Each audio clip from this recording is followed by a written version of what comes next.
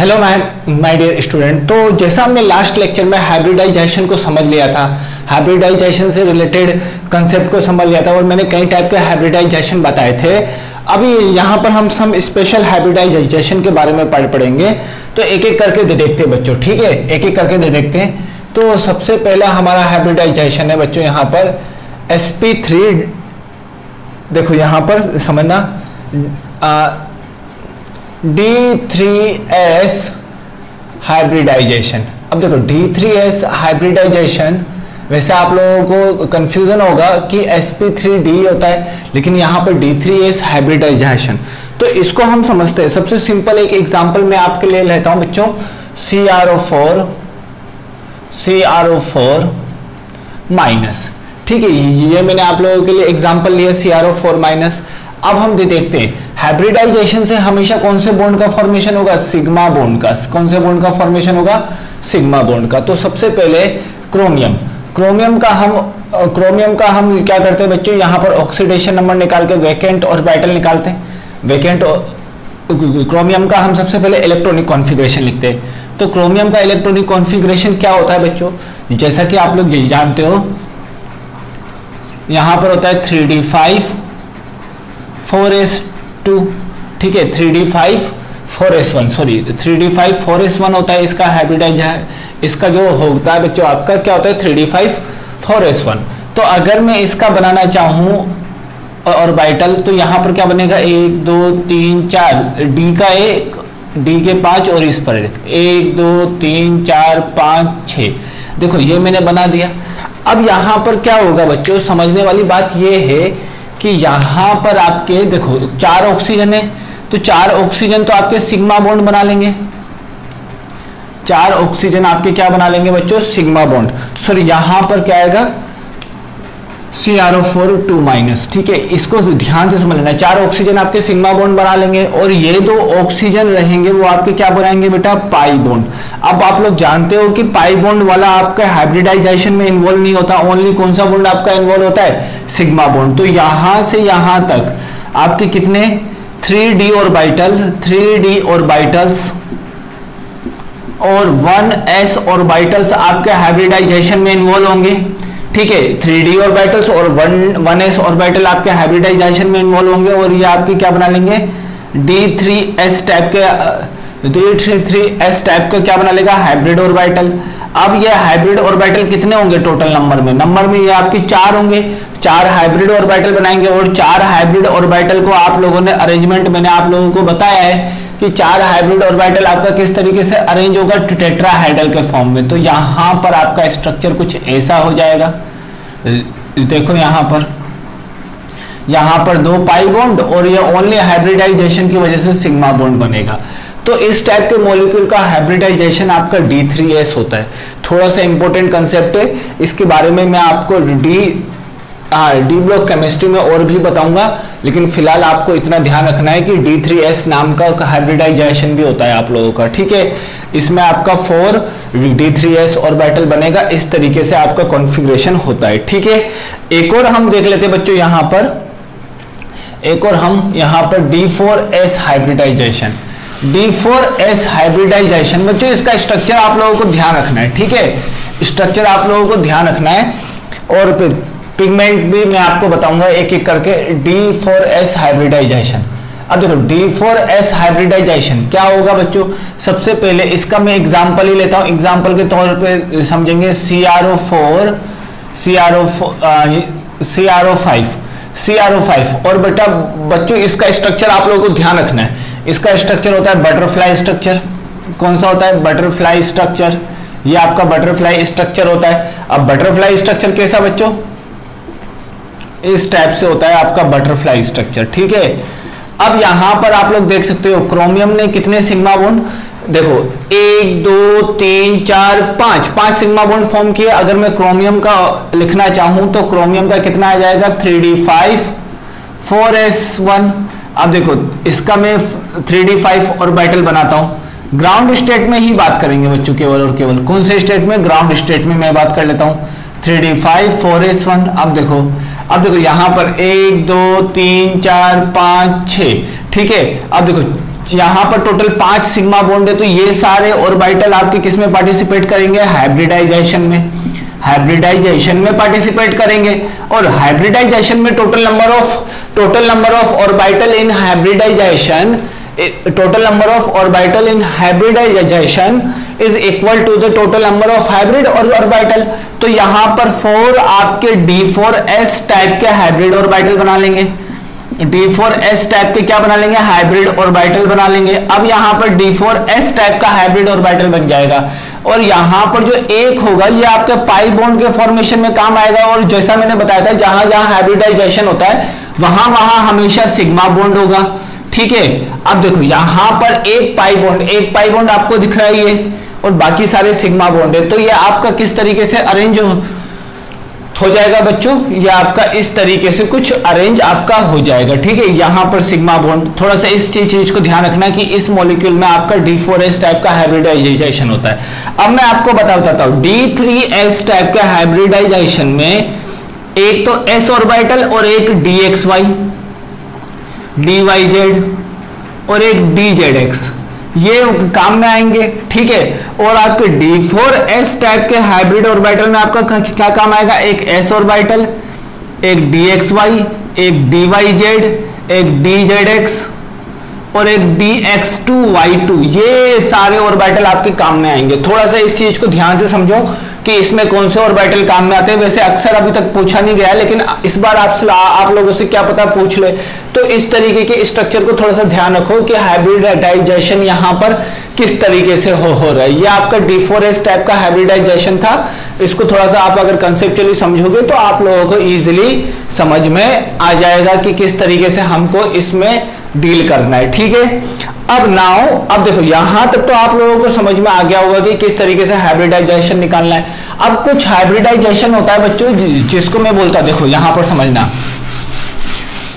मैं आपको दो टाइप का हाइब्रिडाइजेशन बता बताता हूँ। उसको आप लोग अच्छे ढंग से समझ लोगे। इनर डी और वाइटल दो टाइप के दो टाइप में अब हम समझते हैं एक और चीज़। Inner d orbital hybridisation inner d orbital hybridisation और एक होता है बच्चों आपका outer D orbital type का hybridisation outer d orbital type का हाइब्रिडाइजेशन अब इस बात को ध्यान से समझना यहाँ पर। यहाँ पर इस बात को ध्यान से समझना है इनर डी टाइप का हाइब्रिडाइजेशन और आउटर डी टाइप का हाइब्रिडाइजेशन एक्चुअली में क्या होता है inner D orbital type का हाइब्रिडाइजेशन आपका क्या होता है d two s p three या फिर आपका डी एस पी टू या फिर आपका d three s p three मतलब डी ऑर्बिटल अंदर की ओर आएगा, या फिर आपका d s p d s p three ये आपके होते हैं इनर डी टाइप के हाइब्रिडाइजेशन ठीक है? और आउटर डी जो आपने पढ़ा है, अभी देखो एस पी थ्री डी ये तो आपने पढ़ा हुआ है। S p three d two ये आपने पढ़ा हुआ है। और s p three s p three d three ये भी आपने आप लोगों ने पढ़ा हुआ है। ठीक है? अब इन दोनों में फ़र्क कितना है? ठीक है, इन दोनों में फ़र्क क्या है? तो आपको इस टाइप का हाइब्रिडाइजेशन मैक्सिमम कहाँ देखने को मिलेंगे? मैक्सिमम आपको यहाँ पर ये आपको कोऑर्डिनेशन कंपाउंड में देखने को मिलेंगे। कोऑर्डिनेशन कंपाउंड कोऑर्डिनेशन कंपाउंड आपका एक ट्वेल्थ में चैप्टर है, उसमें आपको यही ऑर्बिटल देखने को मिलेंगे। अब inner d orbital hybridisation actually में क्या होता है? Due to the coordinate bond coordinate bond की वजह से फॉर्म होगा। इनर डी ऑर्बिटल का मतलब है आपका n minus one d orbital मतलब अब देखो, अगर यहाँ पर n minus one d orbital और यहाँ पर एन डी ऑर्बिटल टाइप का हाइब्रिडाइजेशन बस इस चीज़ को थोड़ा सा ध्यान रखो। अब मैं आपको बता बताता हूँ कि ये ऑर्बिटल किस तरीके से डील करेगा। ये ऑर्बिटल केवल और केवल स्ट्रॉन्ग फ़ील्ड लिगेंट ठीक है? स्ट्रॉन्ग फ़ील्ड लिगेंट अभी आप इतना समझ लो कि किस तरीके से हम करेंगे। स्ट्रॉन्ग फ़ील्ड लिगेंट के प्रेजेंस में इस स्ट्रॉन्ग फ़ील्ड लिगेंट कौन कौन से? अब देखो लीगेंट क्या है वो मैं आपको आगे जाके आपको अपने आप समझने को मिल, मिलेगा। वैसे एक्चुअली में लीगेंट आपका होता है which can donate the lone pair electrons that is called ligand ठीक है? उतना होता है। अब मैं आपको आगे जाके ट्वेल्थ क्लास ट्वेल्थ में पूरा कोऑर्डिनेशन कंपाउंड में बताऊँगा लेकिन आप इस चीज़ को थोड़ा सा ध्यान रख लो। एक तो सीओ ठीक है? सी एन माइनस सीओ ठीक है? इस टाइप के अगर आपके होंगे तो ये आपके स्ट्रॉन्ग फ़ील्ड लिगेंट होंगे। अभी आप थोड़ा सा एग्जांपल ध्यान ध्यान इसमें रख लो, थोड़ा सा एग्ज़ाम्पल ठीक है? अगर मेरा ओ एक्स हुआ तो वो भी हो जाएगा, ठीक है? इस टाइप से थोड़े से एग्ज़ाम्पल आप लोग अभी ध्यान रख लो, आपके लिए काम आ जाएँगे, ठीक है? अब हम समझते हैं कि बच्चों, इसमें इनर डी ऑर्बिटल क्या होता है। अब देखो स्ट्रॉन्ग फ़ील्ड लिगेंड क्या करेगा? अनपेयर इलेक्ट्रॉन को पेयर करने का काम करेगा, ठीक है? क्या करेगा ये? Pair paired all unpair electron सारे अनपेयर इलेक्ट्रॉन को पेयर करने का काम करेगा। बस इतना समझो। अब देखो, एक एग्जांपल मैं बताता हूँ आपको इस केस में। जैसे NiCO4 अब आपको इसका हाइब्रिडाइजेशन निकालना है। अब आपको इसका हाइब्रिडाइजेशन निकालना है। अब सबसे पहले इस टाइप की कंडीशन में हम क्या करेंगे? सबसे पहले इसका क्या निकालेंगे? ऑक्सीडेशन एनआई का क्या निकालेंगे? ऑक्सीडेशन अब देखो ऑक्सीडेशन नंबर कैसे निकालेंगे एनआई का? अब देखो, यहाँ पर ऑक्सीडेशन नंबर निकालने का तरीका समझना। एनआई को मैंने एक्स मान लिया तो एक्स लिख दिया प्लस कितने सीओ चार सीओ तो चार लिख दिया। एक सीओ पे कितना चार्ज सीओ पे कितना चार्ज होता है? सीओ को बोलते हैं कार्बोनिल कार्बोनिल के ऊपर कितना चार्ज ज़ीरो तो टोटल एक्स इक्वल टू भी कितना आ गया बच्चों? यहाँ पर ज़ीरो आ गया। एक्स इक्वल टू भी कितना आ गया बच्चों? यहाँ पर आपका यहाँ पर सॉरी x इक्वल टू कितना आ गया बच्चों? यहाँ पर ज़ीरो आ गया। ठीक है? इस तरीके से मैंने यहाँ पर ऑक्सीडेशन नंबर तो निकाल लिया। अब ni का मैं लिखता हूँ यहाँ पर, ni का इलेक्ट्रॉनिक कॉन्फ़िगरेशन तो यहाँ पर 28 होता है तो यहाँ पर क्या जाएगा? 3d8 4s2 अब मैं 3d8 बनाता हूँ। इस केस में थोड़ा सा ध्यान रखिए बच्चों आप लोग, जो कि आपका अभी तो नहीं, आगे जाके आपको और अच्छे से सीखने को मिल जाएगा ये आपको। बहुत अच्छे से सीखने को मिलेगा। तो यहाँ पर मैंने एट इलेक्ट्रॉन यहाँ पर मैंने एस ऑर्बिटल में दो इलेक्ट्रॉन अब देखो यहाँ पर यहाँ पर एन आई सीओ फोर अब देखो यहाँ पर भी आपका किस तरीके से डील होगा उसको समझते हैं यहाँ पर. आ, इसको इसको कोबाल्ट कर लो बच्चों. आ, इसको एन आई रहने दो एन आई रहने दो आपको समझा दूँगा मैं इसमें ठीक है? अब देखो क्या होगा बच्चों यहाँ पर कि दे दे देखो यहाँ पर एनआई का निकाल लिया। अब देखो ये इधर चला जाएगा अनपेयर इलेक्ट्रॉन को पेयर करेगा। अनपेयर इलेक्ट्रॉन को जब ये पेयर करेगा तो इन सब के केस में थोड़ा सा समझने वाली बात है बच्चों बाकी तो कुछ कुछ दिक्कत नहीं है ठीक है? बाकी कोई भी यहाँ पर प्रॉब्लम नहीं है। अब अगर मैं इसको पेयर करूँगा तो पेयर करने पर आपका इलेक्ट्रॉनिक कॉन्फ़िगरेशन क्या हो जाएगा बच्चों? एन का। पेयर कर दिया मैंने इलेक्ट्रॉन को तो यहाँ पर आपका इस तरीके से हो जाएगा। ठीक है? इस तरीके से यहाँ पर आपका हो जाएगा। पेयर कर दिया मैंने इलेक्ट्रॉन्स को। ठीक है? अब यहाँ पर आपका एक एस और यहाँ पर कितने सी हुए? चार सी हुए तो चार यहाँ पर। अब यहाँ पर ये लीगेंड का काम क्या होता है? लोन पेयर को डोनेट करना। अब ये लोन पेयर को डोनेट करेगा, पूरे इलेक्ट्रॉन पेयर को डोनेट करेगा मतलब दो इलेक्ट्रॉन को डोनेट करेगा। तो यहाँ पर एक सीओ आप अपने दो इलेक्ट्रॉन को डोनेट करेगा। यहाँ पर एक सीओ दो इलेक्ट्रॉन को डोनेट करेगा। यहाँ पर एक सीओ दो इलेक्ट्रॉन को डोनेट करेगा। यहाँ पर एक सीओ दो इलेक्ट्रॉन को डोनेट करेगा। तो हाइब्रिडाइजेशन में आपके केवल और केवल क्या पार्टिसिपेट किए? एक एस ऑर्बिटल और तीन पी ऑर्बिटल्स आपके पार्टिसिपेट किए। तो यहाँ पर आपका किस टाइप का हाइब्रिडाइजेशन हो, हो जाएगा बच्चों? यहाँ पर sp3 टाइप का। किस टाइप का हाइब्रिडाइजेशन हो जाएगा बच्चों? यहाँ पर आपका sp3 टाइप का। अब जब यहाँ पर sp3 टाइप का हाइब्रिडाइजेशन हो गया है तो यहाँ पर आपका स्ट्रक्चर कैसा बनेगा? ये स्ट्रक्चर आपका कुछ ऐसा बन जाएगा टेट्राहाइड्रल जो कि आप समझ रहे होंगे काफ़ी इजीली तो यहाँ पर इस तरीके से आपका स्ट्रक्चर बनता है। लेकिन लेकिन अब ध्यान से समझेंगे कि पहला स्टेप आपको समझ में आ गया कि अनपेयर इलेक्ट्रॉन को पेयर करना है, बस। अनपेयर इलेक्ट्रॉन को पेयर करना है। अभी मैंने इनर डी ऑर्बिटल के बारे में नहीं बताया। इनर डी ऑर्बिटल के बारे में मैं नेक्स्ट एग्जांपल में बता, बताता हूँ, लेकिन पहले अनपेयर इलेक्ट्रॉन को पेयर करके इस तरीके से करना होता है। इसको हम एक्चुअली में बोलते हैं कोऑर्डिनेशन कंपाउंड ये हमारा कोऑर्डिनेशन कंपाउंड होता है और ऐसा जो ऐसा जो भी आपका इनर डी ऑर्बिटल का आपका इनर डी ऑर्बिटल का हाइब्रिडाइजेशन आपको जनरली कहाँ देखने को मिलेगा? कोऑर्डिनेशन कंपाउंड में। कहाँ देखने को मिलेगा बच्चों? ये आपको कोऑर्डिनेशन कंपाउंड में। तो इस टाइप के एग्जांपल को देखने के लिए आप लोगों को खुद एक बार कोशिश करना पड़ेगा, समझना पड़ेगा कि किस तरीके से हम इस टाइप के क्वेश्चन को डील करेंगे। ठीक है बच्चों? तो काफ़ी इजी है। अगर आप एक दो बार कोशिश करोगे तो आप लोगों को अच्छे से समझ में आ जाएगा। अब हम बात करते हैं यहाँ पर कि एक और DSP2 DSP2 का केस लेते हैं एक हम, ताकि आपको समझ में आ जाए।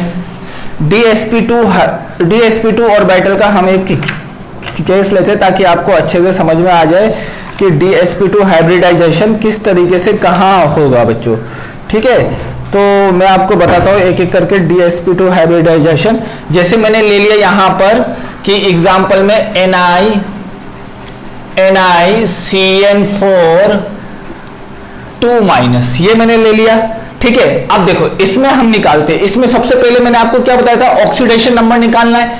तो सबसे पहले आप लोग इसमें निकालो ऑक्सीडेशन नंबर तो यहाँ पर मैंने ऑक्सीडेशन नंबर निकाल लिया। जब मैंने यहाँ पर ऑक्सीडेशन नंबर निकाल लिया तो ऑक्सीडेशन नंबर के लिए इसको एक्स मान लेता हूँ।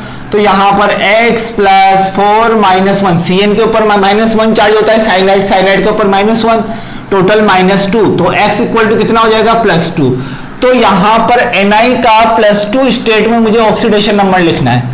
तो प्लस टू स्टेट में मुझे इलेक्ट्रॉनिक कॉन्फ़िगरेशन लिखना है। तो सबसे पहले ni ज़ीरो का लिखो तो ni का ज़ीरो का कितना होता है? Three d eight four s two अगर मैं बात करूँ ni प्लस टू तो ni प्लस टू के केस में दो इलेक्ट्रॉन आउटर मोस्ट शेल से बाहर निकाल लिए जाएँगे।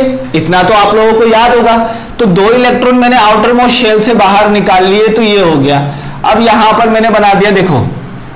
यहाँ पर मैंने क्या बना दिया बच्चों? यहाँ पर मैंने, देखो, एक, दो, तीन, चार। ठीक है, यहाँ पर मैंने थ्री डी एट बना दिया। ठीक है, यहाँ पर मैंने थ्री डी एट बना दिया। ठीक है, और फॉरेस्ट में कितने इलेक्ट्रॉन ज़ीरो इलेक्ट्रॉन अब क्या करेगा ये? अब क्या करेगा कि यहाँ पर आपको अनपेयर इलेक्ट्रॉन को क्या करेगा बच्चों? पेयर करेगा। अब अनपेयर इलेक्ट्रॉन को पेयर करने का तरीका क्या है? समझना बात को ध्यान से। अब अनपेयर इलेक्ट्रॉन को पेयर करेंगे। यहाँ पर सीएम क्या है? मैंने आपको बताया था strong field ligand strong field ligand होगा तो आपका अनपेयर इलेक्ट्रॉन को पेयर कराएगा। बस अभी इतना जान लो, ये आपसे अभी नहीं पूछा जाएगा, लेकिन फिर भी आप लोगों को याद होना चाहिए। ठीक है अनपेयर इलेक्ट्रॉन को पेयर करा दिया मैंने। तो यहाँ पर आपका क्या बन जाएगा बच्चों? यहाँ पर आपका देखो, इस तरीके से, एक, दो, तीन, चार, पाँच छ सात, आठ। अब यहाँ पर देखो, अब क्या होता है एक्चुअली में लीगेंट क्या होता है बच्चों? लीगेंट क्या होता है? लीगेंट आपका होता है कि जो लोन पेयर इलेक्ट्रॉन को डोनेट करे, ठीक है, जो कि क्या करे? Which can donate electron pair ठीक है which can donate which can donate donate electron pair. Electron pair मतलब दो इलेक्ट्रॉन।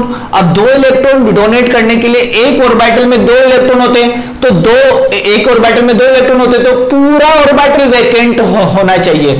पहले हम क्या करते थे एक इलेक्ट्रॉन को डोनेट करा रहे थे।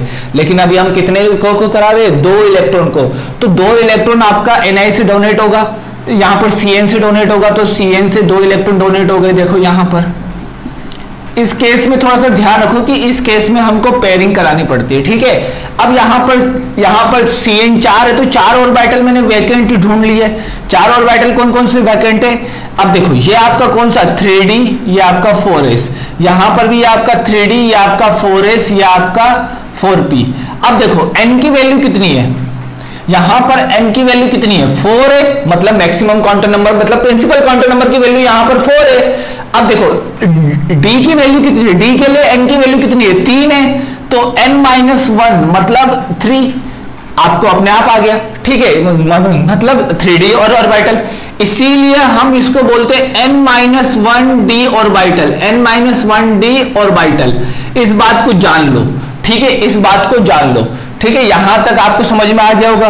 अब यहाँ पर एक s एक s ऑर्बिटल सॉरी यहाँ पर आपका एक थ्री डी ऑर्बिटल काम में आया, एक आपका फोर एस ऑर्बिटल और दो आपके फोर पी ऑर्बिटल्स आपके काम में आ गए। ये सारे ऑर्बिटल्स आपके हाइब्रिडाइजेशन में काम में आ गए।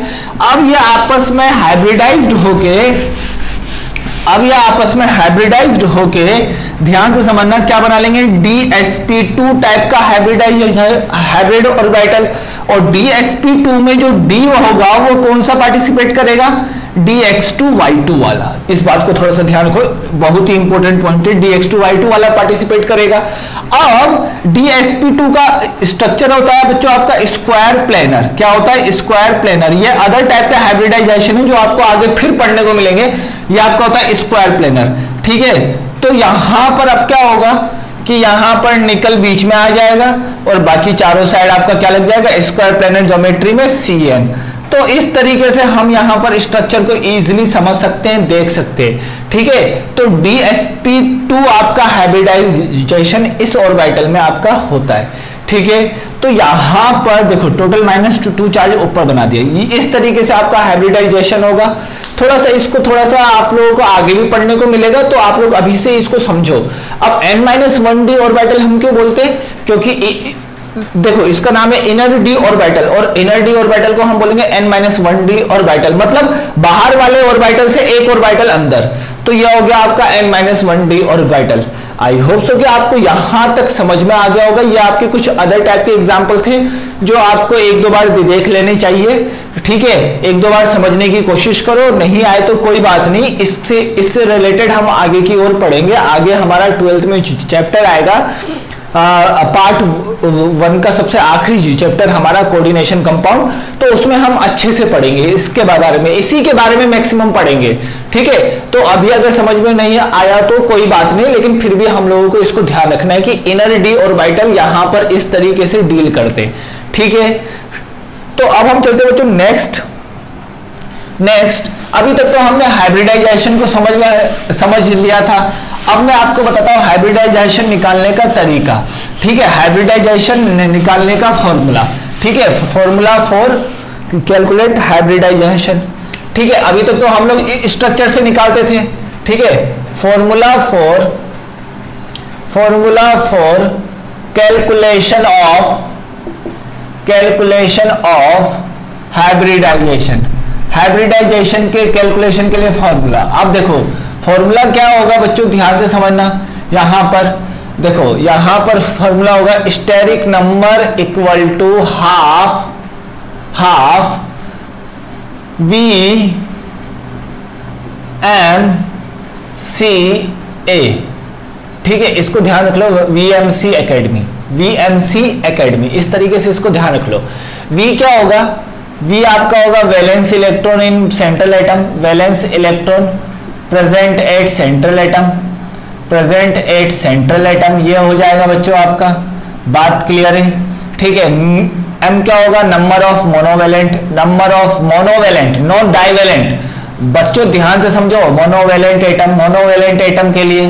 ठीक है। सी का मतलब क्या होगा? कैटायन सी का मतलब आपका क्या होगा? कैटायन कैटायन चार्ज ठीक है। और आपका ए का मतलब क्या होगा? एनायनिक चार्ज एनायन चार्ज ठीक है, ये आपका हो जाएगा।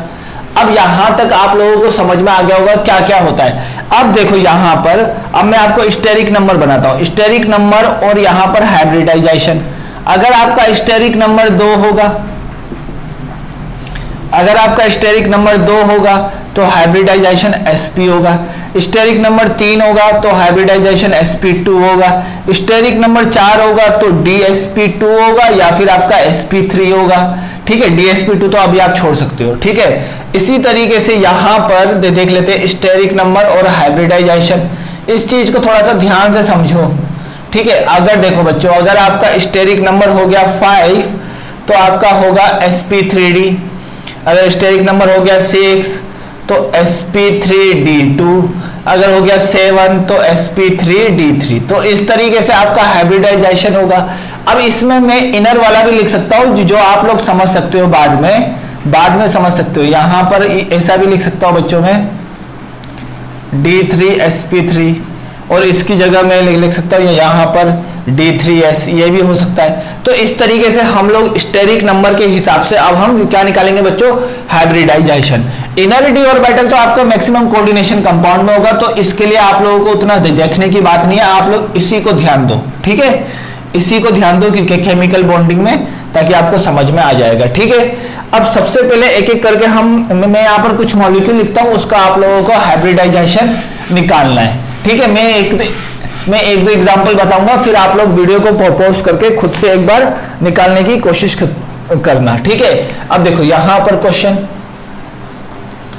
calculate the hybridisation calculate the hybridisation of central atom central atom आपको सेंट्रल एटम का हाइब्रिडाइजेशन निकालना है। यह आपका क्वेश्चन है? अब क्वेश्चन में पहला है आपका ICl2 यहाँ पर आपका प्लस चार्ज अब देखो, इसका हाइब्रिडाइजेशन निकालना है। तो सबसे पहले मेरे पास फॉर्मूला क्या था बच्चों?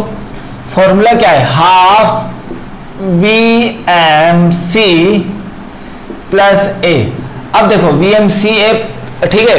अब यहाँ पर हाफ़ को रख दो ऐसे ही।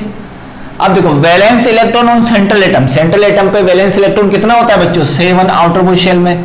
ठीक है, कितने मोनोवेलेंट है? क्लोरीन आपका मोनोवेलेंट है।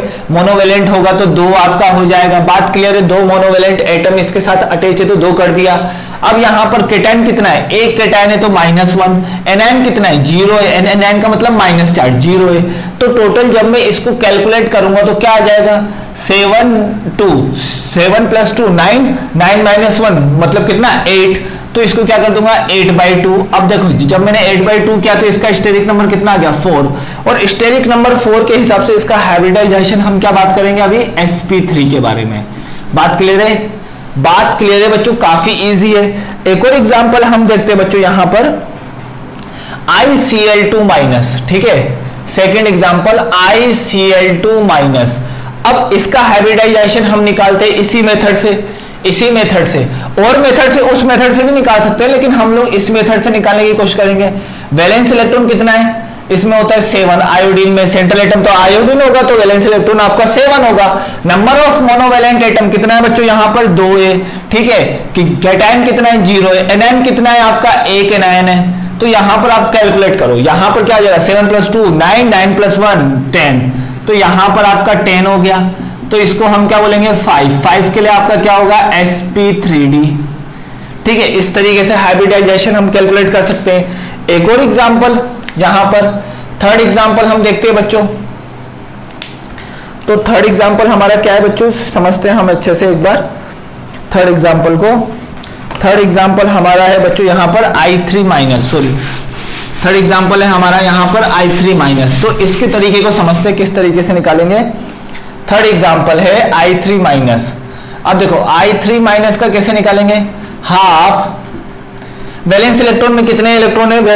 सेंट्रल एटम आपका तीन आयोडीन है तीन आयोडीन है तो तीन आयोडीन में से एक एक आयोडीन आपका सेंट्रल होगा। तो सेंट्रल एटम आपका कितना है बच्चों? यहाँ पर सेवन सेवन में से एक आयोडीन का वैलेंस इलेक्ट्रॉन काउंट कर लिया। अब दोनों टर्मिनल कितने आपके मोनोवेलेंट है? तो आयोडीन आपका हेलोजन ग्रुप में आता है तो मोनोवेलेंट आपके कितने हो जाएँगे? दो हो जाएँगे। बात क्लियर है? यहाँ पर आपका कैटाइन कितना है? ज़ीरो है। एनआईन आपका एक है। माइनस वन चार्ज है ना? मतलब एक एनआईन है। तो टोटल फिर मैं कैलकुलेट करूँगा तो ये आपका इस तरीके से आ जाएगा और फाइव आने की वजह से इसका हाइब्रिडाइजेशन क्या हो जाएगा? Sp3d ठीक है? आई होप सो कि आपको समझ में आ रहा होगा किस तरीके से हमको कैलकुलेट करना है। एक और क्वेश्चन देख लेते हैं बच्चों। CH4 CH4 का आपको निकालना है। तो किस तरीके से निकालेंगे बच्चों? तो देखो यहाँ पर हाफ़ इंटू वैलेंस इलेक्ट्रॉन कितना होता है? कार्बन पे चार। ठीक है मोनोवेलेंट है मोनोवेलेंट कितने? चार है। एनाइन कितना है? ज़ीरो है और केटाइन भी कितना है बच्चों? ज़ीरो है। दोनों ज़ीरो है। तो टोटल कितना आ गया? Eight by two eight by two का मतलब फोर फोर का मतलब आपका sp3 हाइब्रिडाइजेशन आप लोगों ने देखा भी होगा मैंने CH4 का sp3 बनाया था। एक और क्वेश्चन देखते हैं बच्चों यहाँ पर। IF7 फिफ्थ IF7 IF7 का आप लोग बनाओगे तो आपका स्ट्रक्चर आप लोगों को समझ में आ जाएगा। एक बार कोशिश करो। IF7 का पेंटागोनल बाइपिरामिडल बनेगा। ठीक है अब देखो यहाँ पर आयोडीन का कितना है बच्चों? वैलेंस इलेक्ट्रॉन सेवन सेवन और मोनो एटोमिक कितना है? सेवन है। कोई चार कोई चार्ज है? ज़ीरो चार्ज है।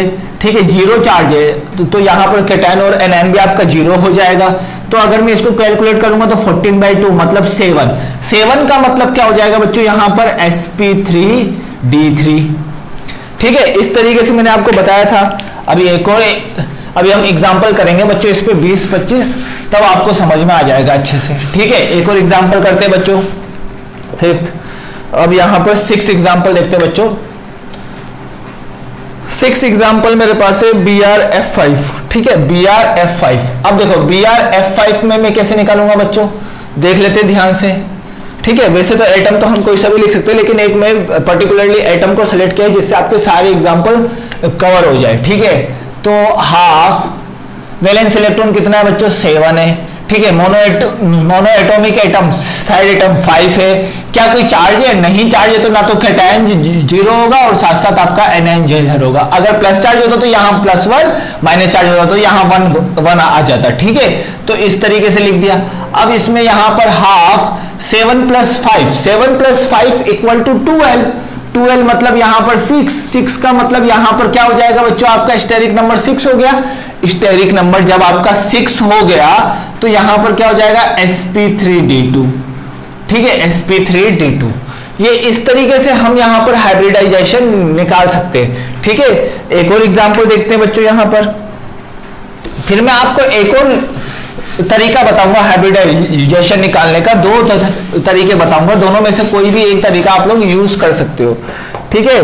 एक और देख लेते हैं बच्चों यहाँ पर यहाँ पर सिक्स सेवन सेवन में आपका क्या है बच्चों? सीओ टू जो देखो, काफ़ी अच्छा और इंपॉर्टेंट एग्ज़ाम्पल है, इसको थोड़ा सा ध्यान से समझना। CO2 में क्या करेंगे बच्चों? यहाँ पर हाफ़ कर दिया। वैलेंस इलेक्ट्रॉन कितना है? फोर है। वैलेंस इलेक्ट्रॉन तो फोर है। क्या ये मोनो एटोमिक है? नहीं ऑक्सीजन आपका डाई एटोमिक होता है। तो यहाँ पर आपका ज़ीरो ना कोई चार्ज है, ना कोई आपका एनायन है, ना कोई घटायन है। तो ये हो गया खत्म। ठीक है, अब यहाँ पर कितना आ जाएगा बच्चों? Four by two four by two का मतलब टू टू का मतलब कौन सा हाइब्रिडाइजेशन बच्चों? एसपी हाइब्रिडाइजेशन इसके बाद एक और एग्ज़ाम्पल देखते हैं बच्चों हम। एट्थ नंबर का एग्ज़ाम्पल CO3 टू माइनस इसका मुझे निकालना है। इसका मैं कैसे निकालूँगा? देखो, इसमें एन एन भी आ गया और कैटेन भी आ गया। चलो, ठीक है एन एन वाला कंसेप्ट आ गया तो हाफ़ अब इसमें वैलेंशियल में चार इलेक्ट्रॉन है। ऑक्सीजन डाई एटोमिक होता है मोनो एटोमिक तो होता नहीं है। ठीक है। अब यहाँ पर आपका, यहाँ पर आपका कैटाइन है। कैटाइन नहीं है, ये माइनस टू माइनस टू का मतलब एनायन तो ये आपका कैटाइन नहीं है तो माइनस ज़ीरो अब एनायन कितने बच्चों? यहाँ पर दो एनायन है मतलब टू है ना? तो टू मैंने लिख दिया। अब यहाँ पर कितना आ जाएगा टोटल कैलकुलेट करो सिक्स बाई टू मतलब क्या हो जाएगा? थ्री थ्री का मतलब sp2 हाइब्रिडाइजेशन कितना आ जाएगा बच्चों यहाँ पर? Sp2 हाइब्रिडाइजेशन अब नेक्स्ट यहाँ पर ध्यान से समझना। एट्थ के बाद ninth ninth example ninth example मैं आपको बताता हूँ। नाइन्थ एग्ज़ाम्पल है बच्चों, हमारे पास एस सी एन माइनस बहुत ही ज़्यादा इंपॉर्टेंट वेरी इंपॉर्टेंट एक बार में बच्चों से कैलकुलेट नहीं होता है। ठीक है? एस सी एन माइनस एक बार में कैलकुलेट नहीं होता है। काफ़ी अच्छा एग्ज़ाम्पल है। सिंपल है, लेकिन एक बार में इस मेथड से कैलकुलेट करने में तकलीफ़ आती है। देखो, यहाँ पर सेंट्रल एटम हम किसको मान लें? सेंट्रल एटम मैंने कार्बन को माना तो कार्बन का चार। बात क्लियर है? ठीक है, कार्बन का चार हो गया। अब कार्बन का चार हो गया तो यहाँ पर मोनो एटोमिक तो नहीं है तो मोनो एटोमिक ज़ीरो। लेकिन अगर ट्राई एटोमिक मोलिक्यूल प्रेजेंट हो N is what triatomic N is what triatomic देखो ट्राई एटोमिक अब देखो मोनो एटोमिक को हम प्लस करते थे डाई एटोमिक के लिए हम कुछ नहीं करते थे, लेकिन ट्राई एटोमिक के लिए माइनस वन करेंगे। तो कितने ट्राई एटोमिक है? एक ट्राई एटोमिक है तो माइनस वन। अब हम चलते हैं चार्ज पे। चार्ज कैलकुलेट करो, यहाँ पर कितना चार्ज है? यहाँ पर कोई भी आपका कैटायन नहीं है तो माइनस ज़ीरो क्या यहाँ पर एनायन है? एनायन होगा तो प्लस वन ठीक है? वही फॉर्मूला लगा रहा हूँ। लेकिन इसमें मैंने क्या क्या इंटरचेंज कर दिया इस फॉर्मूले में? इस फॉर्मूले में मैंने कर दिया half V plus M minus cation plus anion और यहाँ पर T मतलब ट्राई एटोमिक को माइनस वन कर दिया, देखो यहाँ पर। यही फॉर्मूला मैंने अप्लाई किया। अब देखो, इसमें क्या हो जाएगा बच्चों? यहाँ पर फोर यहाँ पर four by two four by two की वजह से यहाँ पर क्या आ जाएगा? टू टू का मतलब कौन सा? एसपी हाइब्रिडाइजेशन तो अब आप लोगों को समझ में आ गया होगा किस तरीके से मैं यहाँ पर हाइब्रिडाइजेशन को कैलकुलेट कर रहा हूँ, ठीक है? एक और एग्ज़ाम्पल देख लेते हैं बच्चों यहाँ पर। सेवन सेवन का टेन एग्जांपल आप जितने एग्ज़ाम्पल मैं करा रहा हूँ उसी एग्ज़ाम्पल को अगर आपने फिर से रिपीट कर लिया तो आप लोगों को सब टाइप के क्वेश्चन हो, हो जाएँगे ठीक है? सीओ सी एल टू अब देखो सीओ सी एल टू यहाँ पर क्या होगा? Half valence shell carbon central atom valence shell में कितने कितने इलेक्ट्रॉन बच्चों? फोर इलेक्ट्रॉन अब एक तो डाई एटोमिक है दो मोनो है तो दो मोनो एटोमिक मैंने ऐड कर दिया। डाई एटोमिक को तो हमको लेना ही नहीं है। या तो मोनो लेंगे तो उतने जितने मोनो एटोमिक एटम होंगे उतने नंबर हम कैलकुलेट करेंगे और डाई एटोमिक के लिए ज़ीरो लेकिन ट्राई एटोमिक के लिए एक माइनस कर देंगे। मतलब माइनस माइनस वन किया ना यहाँ पर? ट्राई एटॉमिक के लिए माइनस करके हटा देंगे। ठीक है? इतना कर लेना। अब यहाँ पर आ, ना तो यहाँ पर कैटायन है ना तो यहाँ पर एनायन है। तो six by two six by two का मतलब थ्री थ्री का मतलब कौन सा? एसपी टू हाइब्रिडाइजेशन क्या आ जाएगा बच्चों यहाँ पर? Sp2 हाइब्रिडाइजेशन अब नेक्स्ट मैं एक और एग्जांपल लेता हूँ, देख लो जैसे SO2Cl2 ठीक है? नेक्स्ट एग्जांपल SO2Cl2 तो यहाँ पर काफ़ी एग्जांपल करेंगे SO2Cl2 देखो यहाँ पर SO2Cl2 के केस में मैंने क्या किया? यहाँ पर मैंने लिया हाफ़ सल्फ़र कितने सल्फ़र कितने यहाँ पर? कैलकुलेट करो, यहाँ पर कितने सल्फ़र है? यहाँ पर आप देख सकते हो, एक सल्फ़र है और सल्फ़र ही आपका सेंट्रल एटम है। तो सेंट्रल एटम में कितने वैलेंस में कितने electron six electron six electron मैंने वैलेंस में ले लिया। अब यहाँ पर डाई एटोमिक तो दो है और मोनो एटोमिक दो है। तो हमको मोनो एटोमिक को कैलकुलेट करना है डाई एटोमिक को कैलकुलेट नहीं करना है। अब यहाँ पर कोई चार्ज नहीं है तो हटा दिया चार्ज खत्म किया। तो eight by two eight by two का मतलब यहाँ पर कौन सा आ जाएगा? 4 4 का मतलब sp3 देखो मैंने इसका sp3 ही बनाया होगा आगे जाके। एक और एग्ज़ाम्पल देखते बच्चों हम। यहाँ पर एक दो और एग्ज़ाम्पल देखते ताकि आपको और कंसेप्ट क्लियर हो जाए। ट्वेल्थ SO4 2 माइनस अब इसका मुझे निकालना है तो कैसे निकालेंगे बच्चों? देखते हैं यहाँ पर। देखो, सबसे पहले हाफ़ सल्फ़र के वैलेंस शेल में सिक्स इलेक्ट्रॉन ऑक्सीजन कितने? ऑक्सीजन सारे डाई एटोमिक है तो डाई एटोमिक के लिए ज़ीरो ठीक है कैटायन कैटायन तो नहीं है तो कैटायन के लिए ज़ीरो एनायन कितने बच्चों? यहाँ पर दो एनायन है। ठीक है? अब देखो, आप लोगों को एक कंफ्यूजन होता होगा कि सर कैटायन के आगे हमने माइनस साइन लिया है। आपको ऐसा कुछ कंफ्यूजन होगा। V इसको हाफ़ कर देता हूँ। V M C plus A ऐसा लिखा।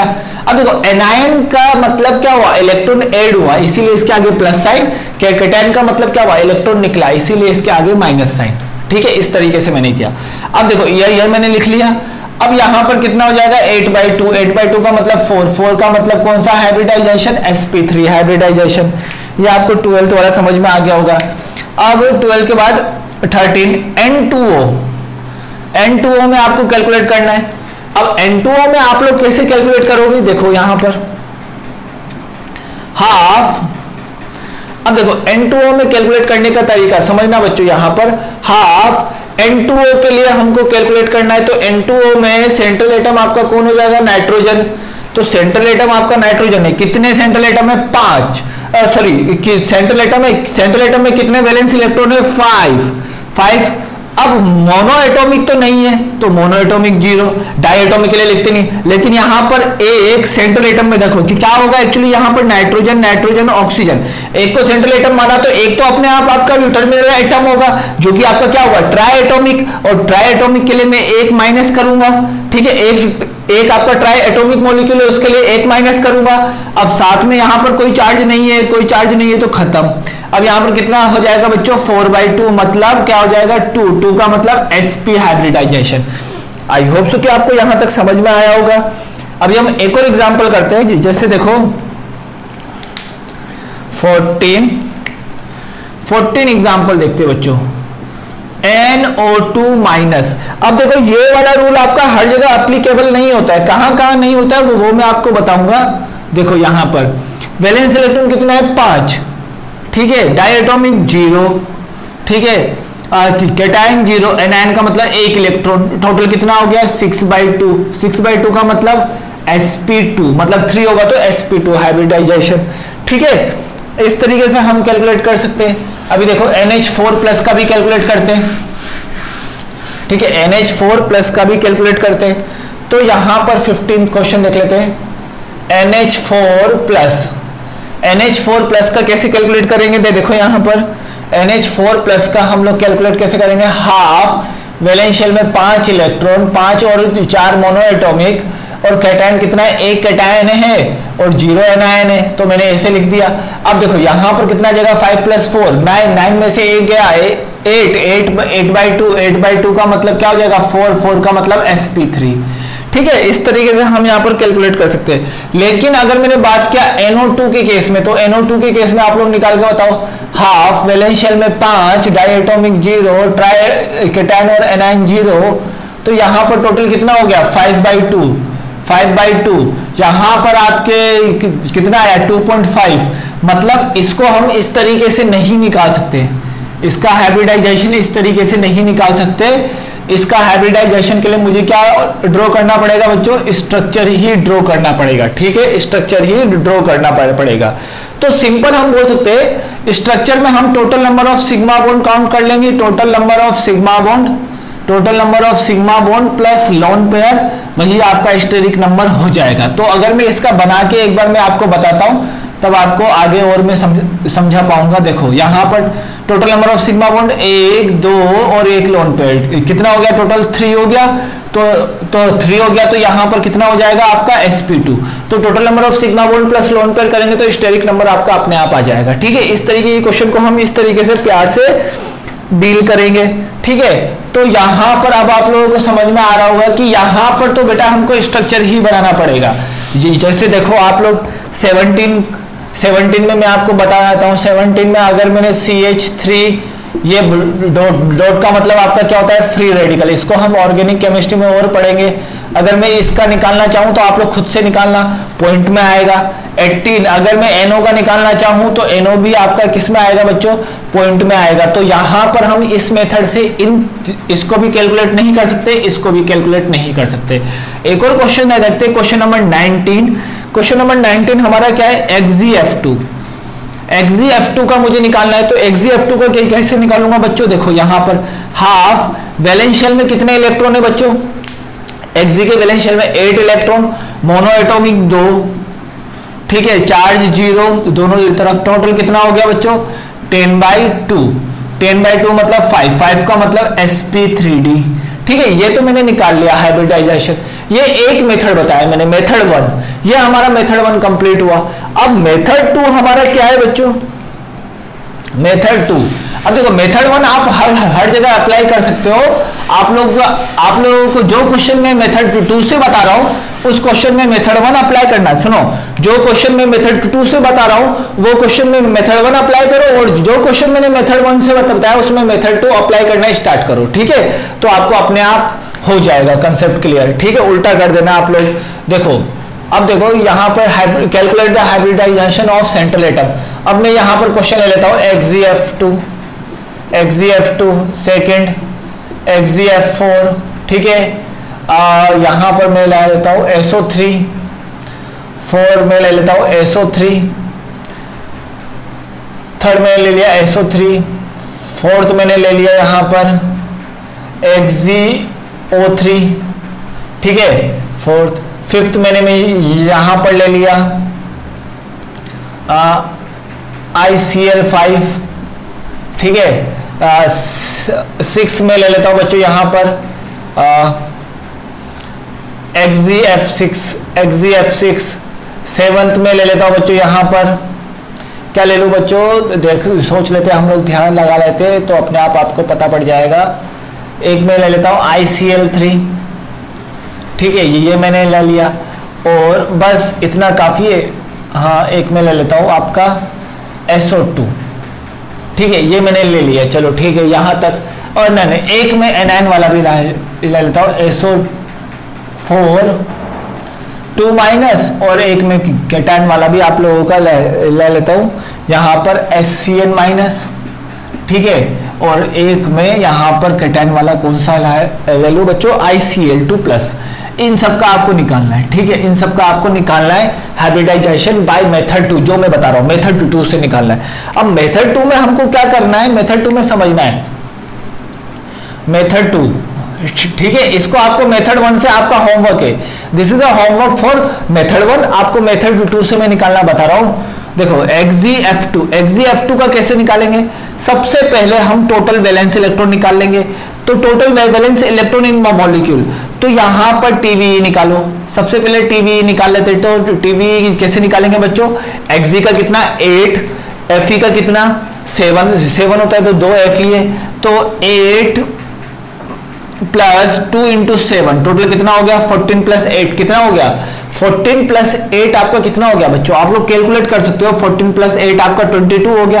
अब क्या करेंगे? इसमें हम टोटल वैलेंस इलेक्ट्रॉन में हम किसका डिवाइड लगा देंगे? एट का डिवाइड लगाएँगे। किसका डिवाइड लगाएँगे? एट का।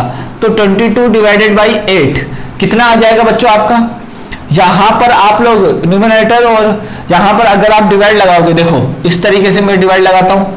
Twenty two divide by eight तो यहाँ पर टू टाइम्स सिक्सटीन और यहाँ पर कितना बचा बच्चों? यहाँ पर कितना बचा? आ, यहाँ पर आपका बचा सिक्स ठीक है? तो इससे और इससे मुझे मतलब है मुझे इससे और इससे मतलब है।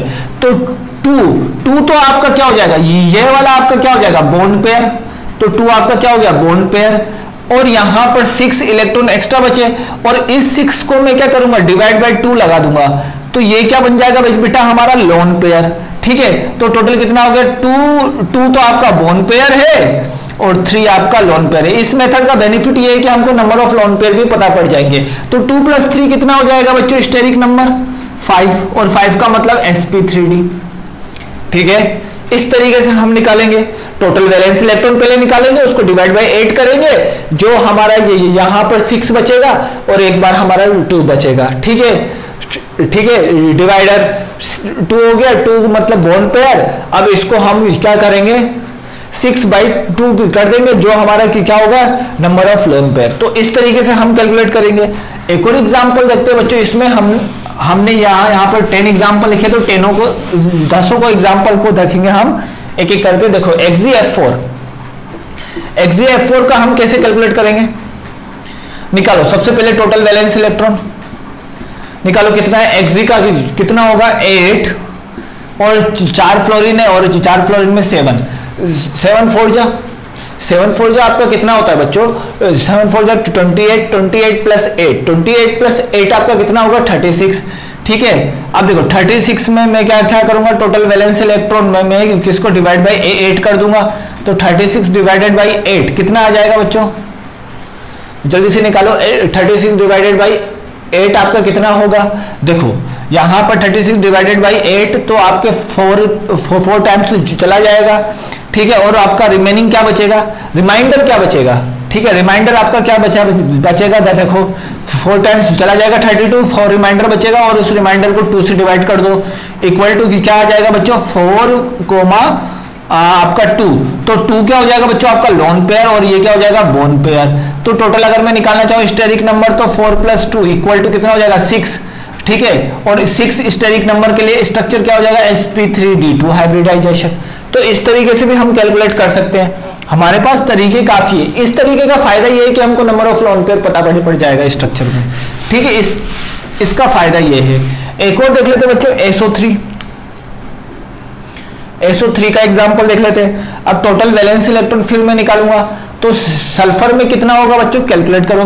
सल्फ़र में टोटल वैलेंस इलेक्ट्रॉन आपका कितना है? सिक्स और ऑक्सीजन थ्री है। थ्री ऑक्सीजन का भी कितना हो जाएगा? सिक्स टोटल कैलकुलेट करो how many valence electron are present in this molecule तो देखो बच्चों, यहाँ पर सिक्स ये हो गया आपका 18 18 प्लस सिक्स मतलब 24 अब 24 डिवाइडेड बाई 8 अगर मैं लगाऊँगा तो आपका कितना आ जाएगा बच्चों? 24 डिवाइडेड बाई 8 अगर मैं लगाऊँगा तो यहाँ पर आपका कितना आ जाएगा? कि कैलकुलेट करो। 24 डिवाइडेड बाई 8 अगर मैं लगाऊँगा तो यहाँ पर आपका कितना आ जाएगा? एक हम्म, ये आपका आ जाएगा थ्री ठीक है? और थ्री और आपका रिमाइंडर कितना बचे, बचेगा? जी ज़ीरो। तो स्टेरिक नंबर कितना हो जाएगा? Three plus zero equal to three three का मतलब कौन सा? हाइब्रिडाइजेशन sp2 इस तरीके से हमने यहाँ पर हाइब्रिडाइजेशन कैलकुलेट कर लिया। अभी एक और एग्जांपल देखते हैं बच्चों और भी एग्जांपल मैंने बताया।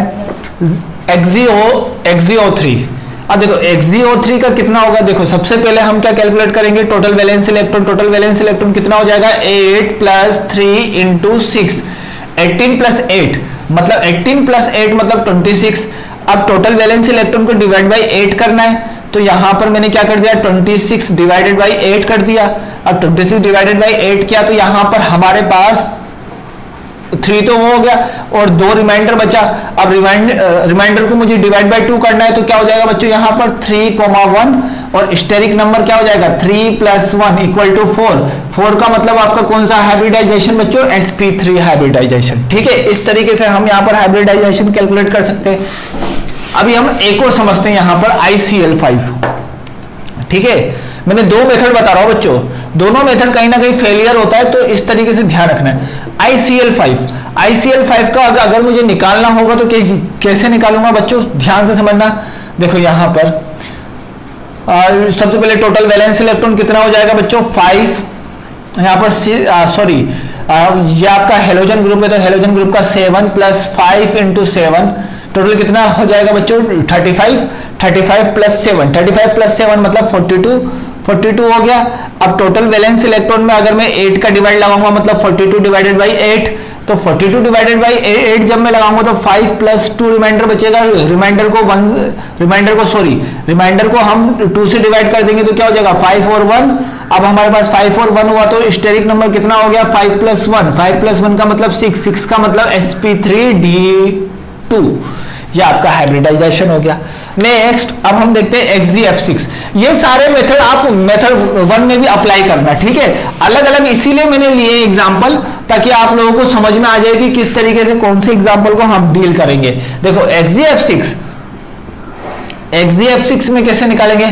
Calculate the total valence electron तो यहाँ पर कितना हो जाएगा? एट एट प्लस यहाँ पर सिक्स इंटू यहाँ पर कितना आ जाएगा? सेवन सेवन सिक्स जा forty two forty two plus eight मतलब कितना हो जाएगा? फिफ्टी। अब देखो total valence electron divide by eight तो कितना हो जाएगा? Fifty divided by eight fifty divided by eight आपका कितना हुआ? एट से अगर आप फिफ्टी को डिवाइड करोगे तो यहाँ पर आपका सिक्स आ जाएगा और साथ में आपका वन हो जाएगा। सॉरी रिमाइंडर टू बचेगा। टू को टू टू से डिवाइड करना है तो यहाँ पर कितना हो, कितना होगा बच्चों? आपका सिक्स प्लस वन तो स्टेरिक नंबर आपका आ गया six plus one six plus one का मतलब सेवन सेवन का मतलब कौन सा हो जाएगा बच्चों? S P three D three आप लोग खुद देख सकते हो, एक लोन पेयर बचेगा इसमें। आप लोग वैसा स्ट्रक्चर बना के भी खुद देख सकते हो, एक लोन पेयर आपका पक्का बच रहा होगा। ठीक है? अब देखो नेक्स्ट एग्जांपल देखते हैं बच्चों आईसीएल थ्री आईसीएल थ्री में हम कैसे करेंगे? देखो, यहाँ पर टोटल वैलेंस इलेक्ट्रॉन निकाल लो। ये आपका फाइव सॉरी हेलोजन है ना? हेलोजन में seven seven plus three into seven ठीक है? तो आपका सेवन कितना हो जाएगा बच्चों? ये आपका twenty eight twenty eight divided by total valence electron divided by eight करना है तो twenty eight divided by eight कर दिया एट के. एट में आपका कितने टाइम्स जाएगा बच्चों? ये आपका देख सकते हो आप थ्री बार और कि, कितना रिमाइंडर बचेगा? फोर फोर को डिवाइड बाई टू कर देंगे तो यहाँ पर कितना बचेगा थ्री और टू दो लोन पेयर तीन बोन पेयर ठीक है? तो यहाँ पर टोटल कितना हो गया? आप लोग कैलकुलेट करो। यहाँ पर स्टेरिक नंबर हो जाएगा थ्री प्लस टू मतलब फाइव और फाइव का मतलब sp3d इस तरीके से हम यहाँ पर भी कैलकुलेट कर सकते हैं हाइब्रिडाइजेशन अब देखते हैं नेक्स्ट एग्जांपल SO4 2 माइनस अब देखते हैं SO4 2 माइनस तो SO4 2 माइनस का। कैसे निकालेंगे बच्चों? सबसे पहले टोटल वैलेंस इलेक्ट्रॉन निकाल लो। कितना हो गया बच्चों ये आपका? Six plus four into six ठीक है? और यहाँ पर ऑक्सीजन में, में कितना है बच्चों? माइनस टू माइनस टू का मतलब यहाँ पर प्लस टू कर दो। माइनस टू का मतलब दो इलेक्ट्रॉन आए तो प्लस टू कर दिया। अब टोटल कितना हो गया बच्चों? दे देखो six twenty four twenty four plus six twenty four plus six आपका थर्टी थर्टी टू ठीक है? अब देखो total valence electron divide by eight thirty two divided by eight. तो thirty two divided by eight मतलब फोर, और reminder कितना बचेगा? ज़ीरो। अगर मैं दो दो से डिवाइड करूँगा तो भी कोई फ़र्क नहीं पड़ेगा, ज़ीरो ही होगा। तो स्टेरिक नंबर कितना होगा? Four plus zero equal to four. Four का मतलब एसपी थ्री हाइब्रिडाइजेशन देखो, आप कितने इजीली निकाल सकते हैं, ठीक है? आप कितने इजीली इसमें निकाल सकते हैं, आप लोग समझ रहे होंगे। अब देखो next example S C N minus S C N minus अब देखो, इसमें आपको टोटल वैलेंस इलेक्ट्रॉन निकालना है तो कैसे निकालोगे? सल्फ़र में कितना होता है? सिक्स कार्बन में फोर और नाइट्रोजन में आपका कितना होता है? फाइव और एक इलेक्ट्रॉन आया तो प्लस वन टोटल कितना हो गया? Six plus four ten ten और यहाँ पर कितना हो जाएगा? सिक्सटीन टेन टेन और यहाँ पर कितना हो गया बच्चों आपका? सिक्सटीन अब देखो total valence electron divided by eight तो 16 डिवाइडेड बाई 8 अगर मैं करना चाहूँगा तो कितना आ जाएगा बच्चों? 2 और 2 का मतलब आप लोग समझ रहे होंगे, यहाँ पर sp हाइब्रिडाइजेशन और पहले भी मैंने कैलकुलेट किया कि, किया था तो क्या आया था? Sp हाइब्रिडाइजेशन ठीक है, इस तरीके से हम यहाँ पर निकाल सकते हैं। अब देखो ICl2 प्लस का ICl2 प्लस का हम कैसे कैलकुलेट करेंगे? कितने वैलेंस इलेक्ट्रॉन है? सेवन सबसे पहले मुझको क्या निकालना है? सिंपल सी कंसेप्ट समझो। टोटल वैलेंस इलेक्ट्रॉन निकालना है तो यहाँ पर सेवन दो Cl है तो सेवन ठीक है, और यहाँ पर प्लस वन है तो एक इलेक्ट्रॉन बाहर गया है, ठीक है? तो माइनस वन टोटल कितना हो गया? Seven fourteen plus seven twenty one twenty one minus one तो यहाँ पर ट्वेंटी आ गया। अब total valence electron divide by by eight sorry तो कितना आ जाएगा? ट्वेंटी डिवाइडेड बाई एट आप लोग खुद समझ सकते हो, यहाँ पर आएगा बच्चों टू और रिमाइंडर बचेगा four four divided by two करेंगे तो टू कॉमा टू आ जाएगा। अब स्टेरिक नंबर निकालना चाहो तो टू कॉमा टू का तो यहाँ पर कितना आ जाएगा बच्चों? फोर और और फोर का मतलब कौन सा हाइब्रिडाइजेशन sp3 अब अब उस मेथड से भी अगर मैं इसका निकाला था तो क्या निकाला था बच्चों? Seven plus two minus one कितना निकाला था? दे, देखो यहाँ पर नाइन और यहाँ पर एक गया eight by two eight by two का मतलब आपका फोर फोर दोनों में सिमिलर आ गया।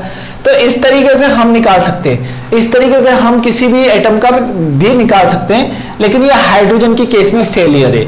ये मेथड आपके हाइड्रोजन के केस में फेलियर है, ठीक है? हाइड्रोजन के केस में फेलियर है। ठीक है? इस चीज़ का ध्यान रखना। अगर मैं सी एच फोर का इसके थ्रू निकालना चाहूँगा, अगर मैं सी एच फोर का इसके थ्रू इसके थ्रू निकालना चाहूँगा तो सी एच फोर का कैसे निकालूँगा? देखो टोटल वैलेंस इलेक्ट्रॉन कर दिया। अब total valence electron equal to carbon का कितना होता है बच्चों? वैलेंस शेल में फोर होता है और हाइड्रोजन का कितना होगा? फोर टोटल कितना आ गया? एट आ गया। अब देखो एट डिवाइडेड बाई एट मतलब वन तो हाइड्रोजन के केस में ये अक्सर आपका फेलियर होगा। अगर मैं NH3 का निकालना चाहूँगा तो NH3 का आपका sp3 होगा। ठीक है? अगर मैं इसके इस कंडीशन से निकालूँगा तो आ, आ जाएगा। अगर मैं इसी में बात करूँ कि अगर मैं NH3 का निकालना चाहूँ तो NH3 का आपको पहले फॉर्मूले से निकल सकता है। देखो CH4 का तो नहीं निकलेगा। देखो यहाँ पर CH4 का अगर मैं उस मेथड से निकालूँगा तो टोटल वैलेंस इलेक्ट्रॉन कितना होगा? फोर प्लस फोर आपका एट हो गया टोटल वैलेंस इलेक्ट्रॉन आपका डिवाइड बाई एट मतलब कितना हो जाएगा? एट बाई एट मतलब वन तो इस मेथड से नहीं निकलेगा। अगर मैं इसी मेथड से निकालना चाहूँगा half into valence electron four चार एटम है ज़ीरो ज़ीरो तो यहाँ पर कितना आ जाएगा एट बाई टू मतलब कितना आ जाएगा फोर फोर का मतलब sp3 ठीक है? हाइड्रोजन वाले में नहीं निकलेगा। अगर मैं इसी में एक और एग्जांपल देखना चाहूँ कि जैसे मैंने देख लिया, देखो यहाँ पर एक और एग्जांपल कहाँ फेलियर होता है? एग्ज़ाम्पल अगर मैं बात करना चाहूँ एग्ज़ाम्पल की यहाँ पर NH3 NH3 के कंडीशन में। तो NH3 के कंडीशन में अगर मैं टोटल वैलेंस इलेक्ट्रॉन निकालना चाहूँ तो 5 प्लस थ्री कितना हो जाएगा? 8 हो जाएगा। अब total valence electron divided by 8 तो कितना हो जाएगा? 8 by eight equal to one तो यहाँ पर भी नहीं निकलेगा इस मेथड से। ठीक है, अब देखो NH3 NH3 ठीक है NH3 हो गया। अब NH3 हो गया तो यहाँ पर क्या करेंगे बच्चों? सिंपल समझना।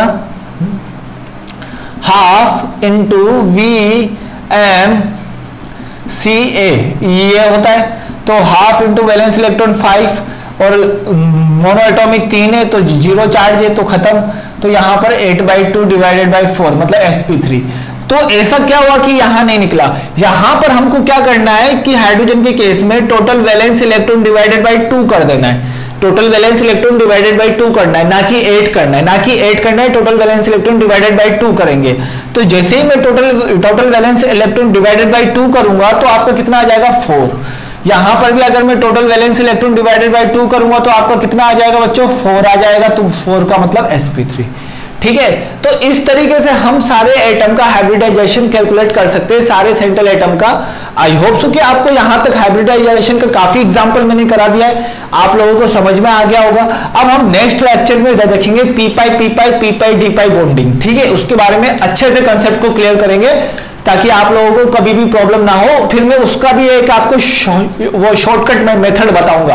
उसका भी शॉर्टकट मेथड बताऊँगा कि मॉलिक्यूल देखते ही हम कैसे पहचान लेंगे कि इसमें पी पाई नहीं पाई है और इसमें पी पाई डी पाई है, ठीक है? वो भी मैं आपको मेथड बताऊँगा। सबसे पहले हम पढ़ेंगे पाई बॉन्डिंग और पाई बॉन्डिंग कंप्लीट होते ही हम चलेंगे बॉन्ड एंगल और बॉन्ड पैरामीटर पे, ठीक है?